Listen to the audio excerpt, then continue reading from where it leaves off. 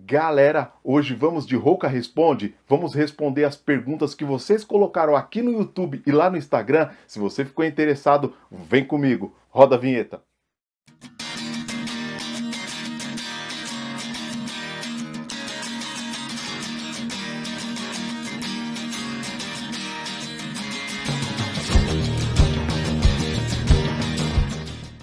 Fala loucos por barba, tudo bem com vocês? Edson Barba Roca falando aqui com vocês. Sejam bem-vindos ao meu, ao seu, ao nosso canal de barba. E aí galera, como vocês estão? Eu espero que todos estejam bem. Galera, o primeiro vídeo do Rouca Responde foi um sucesso. Vocês curtiram bastante, pediram para responder outras perguntas, interagiram bastante com o outro vídeo. Então achei muito legal trazer uma parte 2. E agora eu gostei do negócio e eu vou implementar e vou fazer uma playlist do Rouca Boca Responde. Então, fique esperto que eu vou abrir na aba comunidade aí uma caixa de perguntas e lá no Instagram também. Então, se você não segue a gente no Instagram, dá um pulinho lá que tem conteúdos exclusivos e também tem a liberdade de você fazer perguntas e poder aparecer em algum Rouca Responde. Então, fica ligado que vai vir outros vídeos aqui dessa série que tá muito legal e eu tô gostando bastante de responder cada um de vocês. Beleza? Mas antes de entrar nesse bate-papo e responder a dúvida da galera, eu preciso te perguntar: já se inscreveu no canal? Ainda não? É muito fácil, rápido e prático.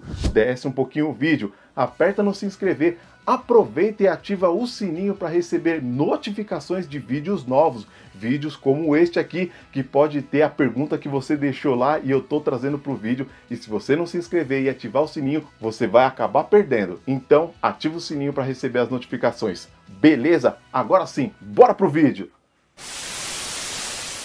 Primeira pergunta. Essa pergunta foi feita lá no Instagram pelo Iaelson Nazer 30. Se não estiver correta a pronúncia, depois você puxa a minha orelha aí. Então vamos lá. A pergunta é a seguinte: Olá, Edson Barbarroca. Eu sou um inscrito no seu canal, estou fazendo o tratamento para o crescimento de barba e já tenho os devidos cuidados. Uso shampoo, uso balme e me veio uma dúvida. Eu gostaria de saber se quando escorre pasta de dente na barba durante a escovação de dentes, se faz mal para os fios a longo prazo e se quando o shampoo de cabelo escorre na barba durante o banho, se isso a longo ou médio prazo possa vir trazer algum malefício e se sim, como eu posso evitar?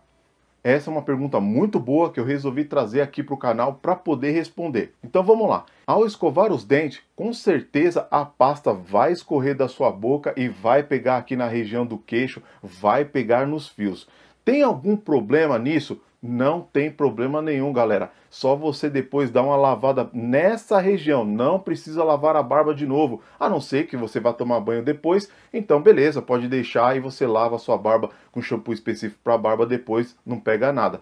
Mas se você já tomou o seu banho, já está tudo certinho, você está escovando os dentes só para ir dormir e sujou um pouquinho, não tem problema. Pega aí a toalha, um papel toalha mesmo, seca essa região, molha só essa parte aqui e acabou, limpou, vida que segue, não vai ter prejuízo nenhum. Agora, se você deixar a pasta de dente aí e não lavar, consequentemente, todos os dias vai trazer um problema na sua pele, porque a pasta de dente está acumulando aí, está tapando os poros, está prejudicando a sua pele.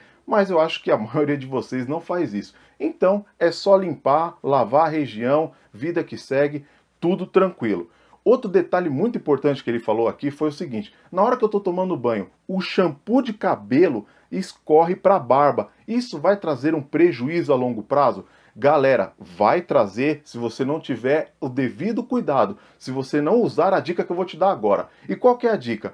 A dica é o seguinte: lave o cabelo primeiro. Não tem como você evitar do shampoo de cabelo encostar na sua barba. Não tem como você fazer isso. Então, para não ter problemas no futuro, você lava o seu cabelo primeiro e logo depois você lava a sua barba com shampoo específico para barba e aí fica tudo certinho e não vai ter problema nenhum no futuro. Beleza? Segunda pergunta é do meu amigo Bruno Henrique. Edson, tudo bem?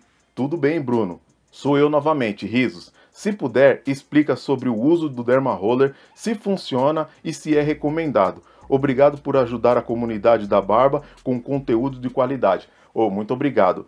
Vamos lá, Bruno. Bruno, eu não vou entrar em muitos detalhes aqui do Derma Roller porque eu estou preparando um vídeo específico falando de Derma Roller. Mas eu já adianto para você que o Derma Roller vai ajudar bastante quem está no tratamento do minoxidil. Por quê? O Derma Roller foi criado para ajudar na restauração da pele, para renovar a pele, para poder abrir os poros de uma maneira mais efetiva.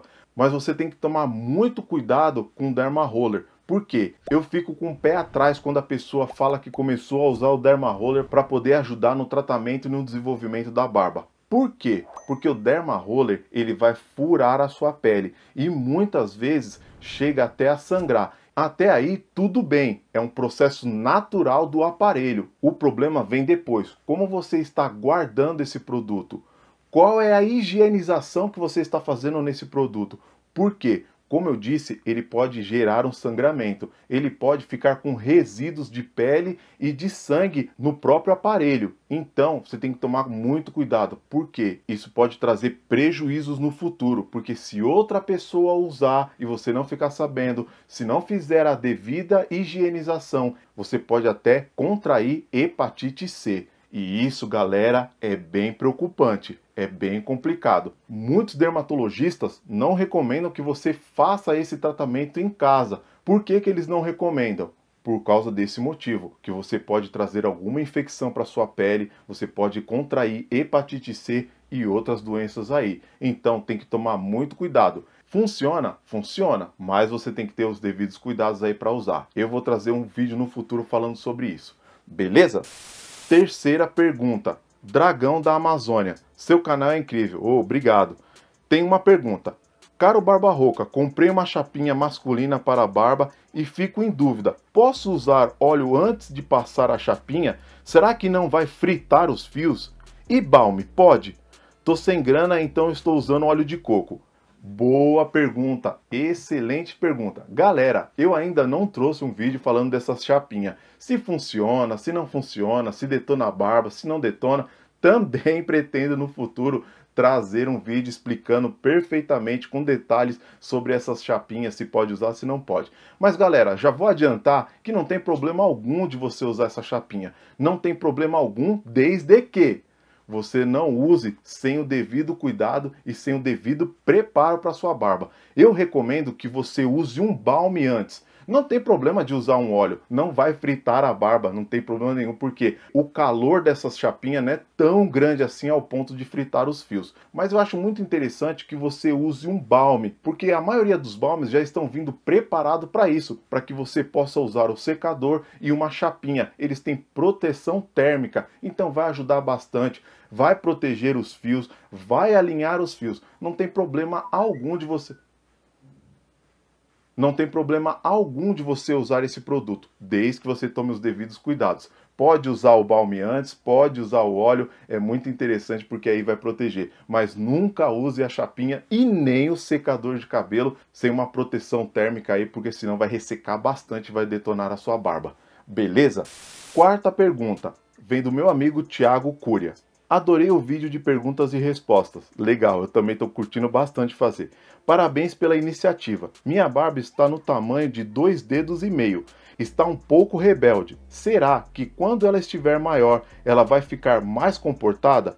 Tamo junto, irmão. Forte abraço. Obrigado e um forte abraço para você também, Thiago. Vamos lá responder o Thiago. Galera, é muito comum quando você começa a deixar a sua barba crescer que ela tenha fios rebeldes. Por quê? Eu já expliquei em outros vídeos, eu vou deixar aqui nos cards como você tem que cuidar da sua barba em cada fase dela. É muito comum sua barba ter os fios que crescem um para o lado, outro para outro, um para cima, outro para baixo. Por que isso acontece?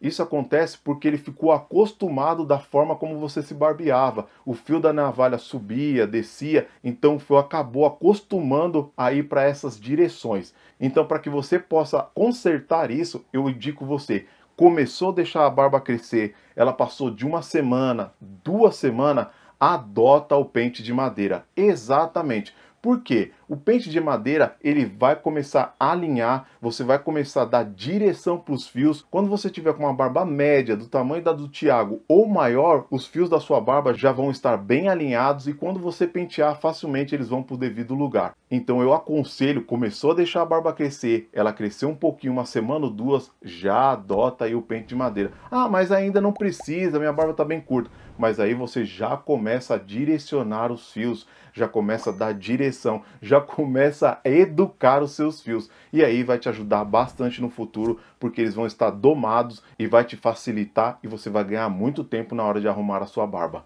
Beleza? Quinta pergunta é do meu amigo Gabriel Marcos. Excelente, Barba Roca. Já fica aqui a minha dúvida, que creio que seja a dúvida da maioria dos barbudos também. É sobre os fios que caem ao lavar, pentear e modelar a barba. Os meus caem alguns fios por dia e geralmente com uma ponta branca na extremidade do fio. Não quebra. Até que ponto isso é normal? Grande abraço. Excelente pergunta aí do Gabriel. E aí, até onde é normal cair os fios da barba? Galera, primeira coisa, é muito normal cair os fios da barba. Ele disse que quando os fios caem, fica uma pontinha branca no final do fio. Isso também é muito comum. Por quê? Porque essa pontinha branca mostra que o ciclo do fio acabou. Então ele vai e se desprende do rosto. É muito comum. Muitas vezes o barbudo que tem uma barba como a minha, o fio já desprendeu e ele não percebeu. E na hora que ele penteia, ele cai. Ele já tinha até caído e você não tinha percebido. Então isso é muito natural. Todos os fios, tanto do cabelo quanto da barba e no resto do nosso corpo, ele tem um ciclo de vida. Então ele vai cair. E quando ele cai, nasce outro no lugar. Então você pode ficar despreocupado. Toda vez que eu penteio, que eu lavo a minha barba, que eu vou modelar a minha barba, também cai fio. Então é muito tranquilo, muito natural. Quando que você percebe que a queda dos fios está um pouco alterada?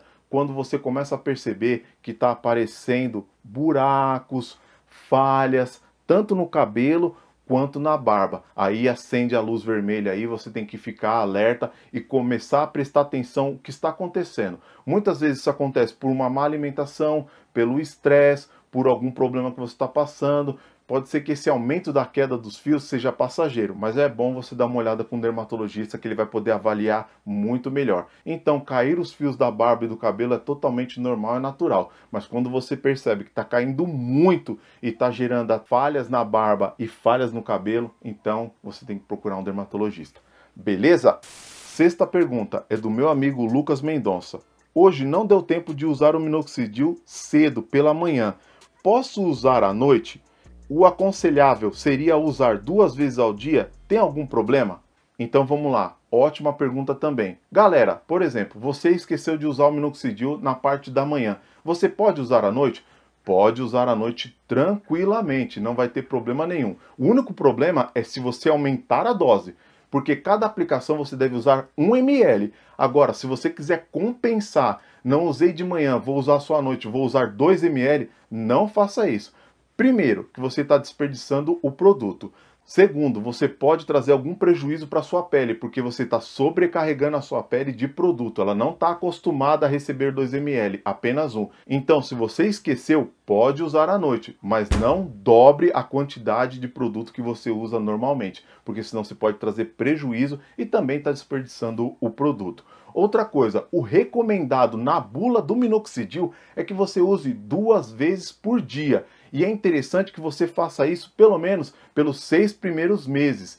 Isso mesmo. No meu tratamento eu usei uma vez por dia, então meu processo demorou um pouco mais para trazer resultado. Então, se você usar duas vezes ao dia, você vai ter grandes resultados. Então, usou de manhã, usou à noite. Beleza. Ah, eu esqueci de manhã. Beleza, usa à noite, vida que segue. Ah, eu esqueci à noite usa de manhã, vida que segue. Só não dobre a quantidade de produto para você não ter nenhum problema depois. Beleza? Galera, essas foram as perguntas de hoje. Achei muito legal, muito interessante. Eu espero que alguma dessas perguntas aqui, ou todas elas, tenham tirado todas as suas dúvidas aí. E aproveita, já deixa aí embaixo nos comentários se você está gostando desse quadro. Se você tem alguma dúvida, deixa a sua pergunta aí vai que a sua pergunta é a próxima pergunta aqui do Roca Responde. Então, deixa aí embaixo, vamos fazer aquele bate-papo logo depois do vídeo. Galera, se está curtindo o nosso conteúdo, divulga a gente nas suas redes sociais, no Facebook, no Instagram, no Twitter, no WhatsApp da família passa essas dicas, passa o vídeo aí do Roca Responde para a galera do seu trabalho, da faculdade, para o seu amigo, para o seu tio, para o seu primo, para todo mundo que está com dúvida, está querendo respostas. Então, passa esse vídeo para a galera aí. Outra coisa, aproveita e segue a gente nas outras redes sociais. Exatamente! Segue a gente no Instagram, no Facebook, porque tem conteúdo exclusivo em cada uma dessas plataformas. E só assim você tem todas as informações do universo da barba e pode te ajudar ainda mais a cuidar da sua barba e deixar sua barba mais legal, mais top e bem alinhada. Beleza? Galera, também, se estão curtindo o nosso conteúdo, passa a barba no like aí para fortalecer. Eu espero você no próximo vídeo. Um forte abraço a todos. Força e fé. Fui!